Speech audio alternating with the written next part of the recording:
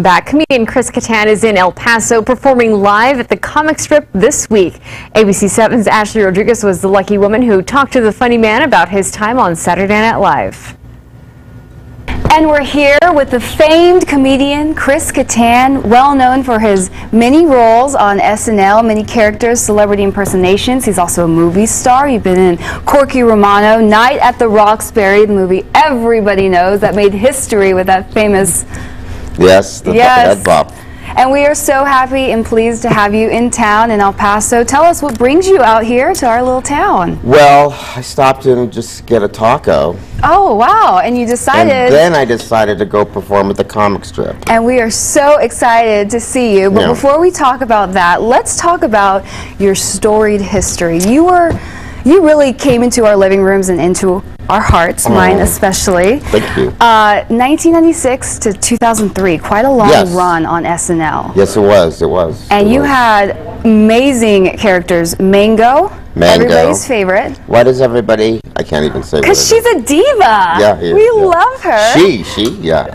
He, he, she. Is she? Yeah. Uh, Mr. Peepers. Mr. Peepers, right? That crazy monkey. Got to dry hump everybody. Yeah, that was yeah. Yeah. Uh, gay Hitler. Gay Hitler, Sprechen Sie. We're not going to say No, it. can't say that word.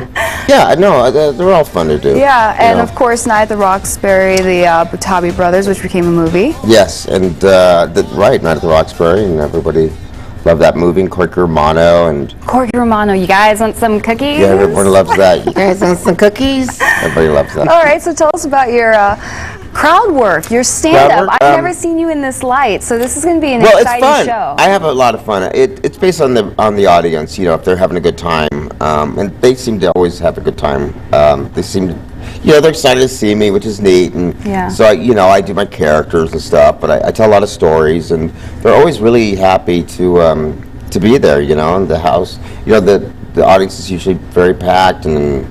And um, it's just a great vibe, and I like to work with the crowd, you know, and Mm-hmm. talk to them and stuff. And um, you know, they're laughing all the time. So if they're laughing all the time, that, that makes me happy. So of course, and it's Wednesday and right, Thursday. Wednesday and Thursday night, not the weekend. It's Wednesday and Thursday night at eight o'clock. We are so One show excited. each night. So I will be there. Ashlie is coming. Yes, I will be there to see there. Mango, Gay Hitler, all of them. Gay Thank Hitler. you, Chris, for stopping by ABC It's not 7. just Gay Hitler. Not just Gay Hitler. Yeah, yeah. Thank you so much. We appreciate so much. it. Of course.